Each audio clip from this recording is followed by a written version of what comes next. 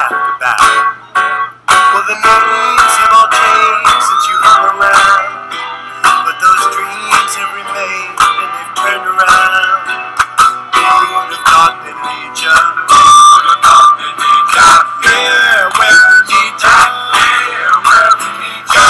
The teasing a lot, cause we got it on the spot. Welcome.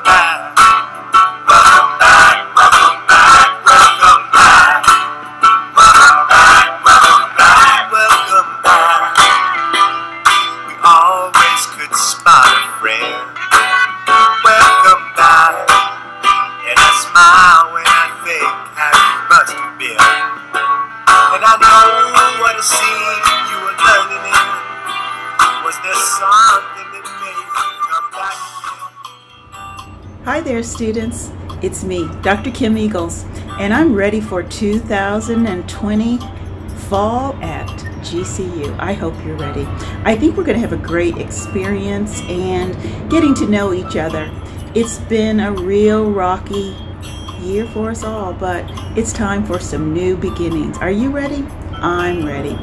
If you hold on just a second, I'm going to go through some of the exciting topics that we'll be discussing and going over some of the formats that I will be using the first three years th first three weeks, sorry, um, via Zoom, okay? So um, it should be pretty easy for us to get through this process and I look forward to meeting and greeting each and every one of you. So take care and I will see you soon.